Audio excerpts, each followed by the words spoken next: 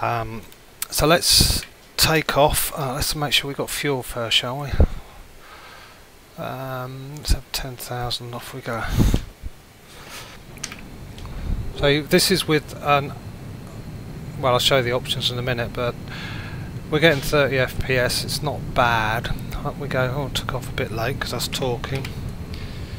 So come out of afterburners. So I mean, it, it's not it's not too bad. The frame rate here is being quite badly affected by the amount of vegetation. So if I go upwards, see we're getting 50 odd FPS. Uh, if we come down,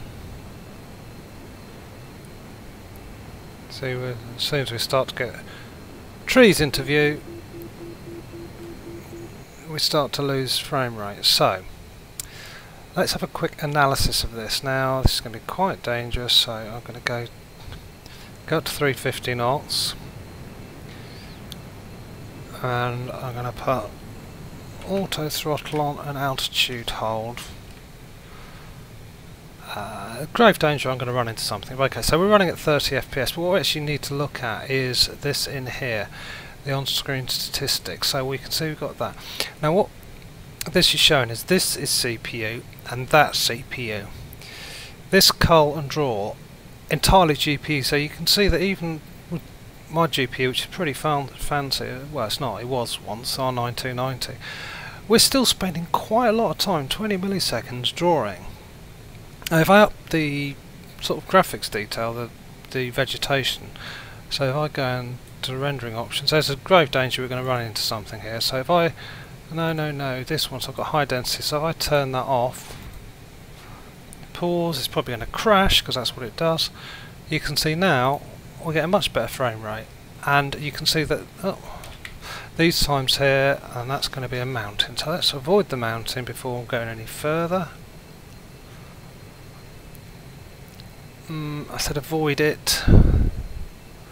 That's better. Um, so you can see here that we've got much much better, much lower, not not better, but a much lower sort of time in the GPU, the cull and the draw on the two cameras. Now if I go like that, you can see it's not bad. Go up there, starts to become significant. Now the other thing I do to, to, to if I go and zoom in on a really small patch of ground, you can see suddenly it's hardly doing any drawing because there isn't that much to draw. So if we go with that, now the other thing we can look at is this monitor system performance. Now this does impact the frame rate, so you will see that the frame rate does drop slightly.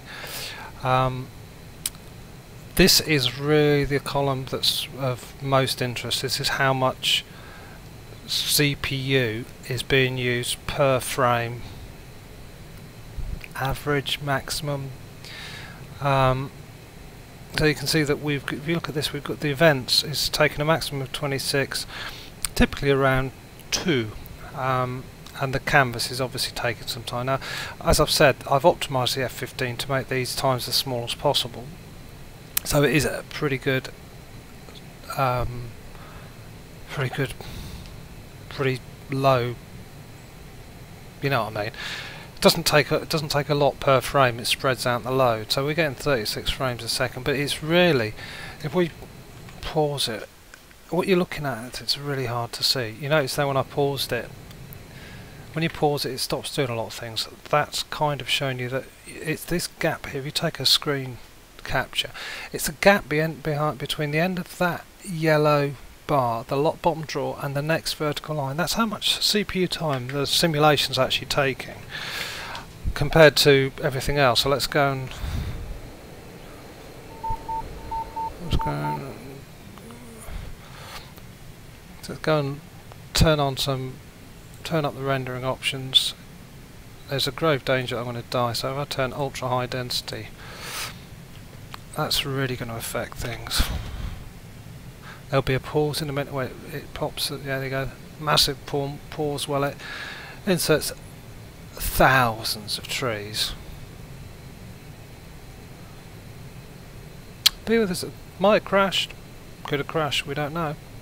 Who knows? Yep, it hasn't crashed. So you can see now our frame rate has become quite bad. Uh, we're down from 30 at the beginning. We've paused again because there's more scenery coming to view.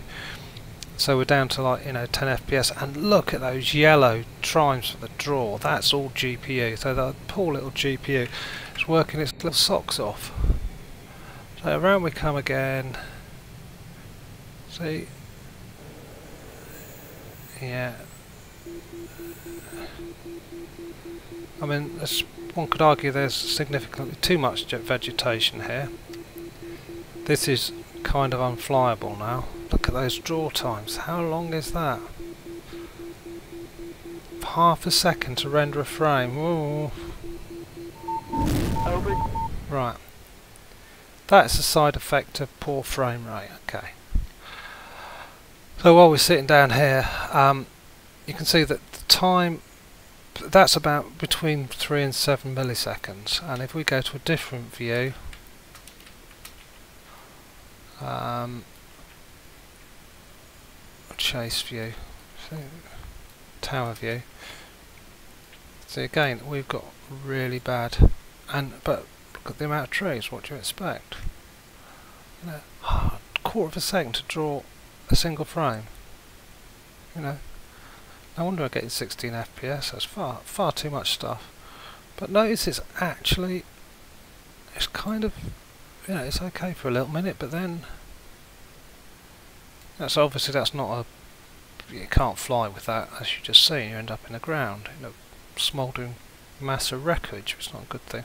So I'd normally go on high density. Uh, if I just drop it down to say we'd go to medium density for a little bit of an experiment, you immediately see. I say immediately. That's a slightly optimistic word. Um, you will see when it comes up that things are better. So it's now going to be pretty good. Could crash. Who knows what's going to happen. There we go. So we're now at 40 old FPS. I'll go back into the cockpit. That, that's kind of better. Um, let's go.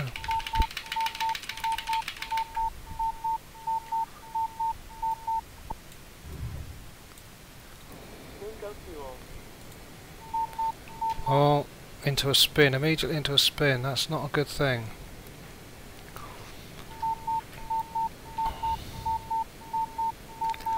Okay, this could be...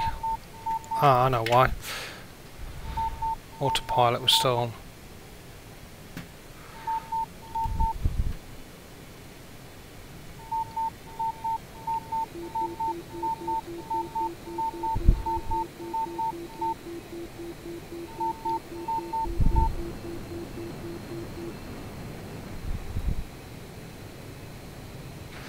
So you see with the medium vegetation we're getting a much better frame rate.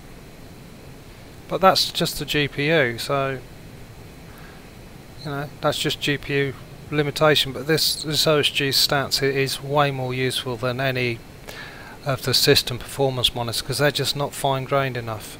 Um, on this in the green ones they're CPUs, the top two green things are, are CPU time and as you can see here on the rendering we've only got like 2.6 second milliseconds to gain so that's nothing. So well there you go. Thanks for watching. Hope it was useful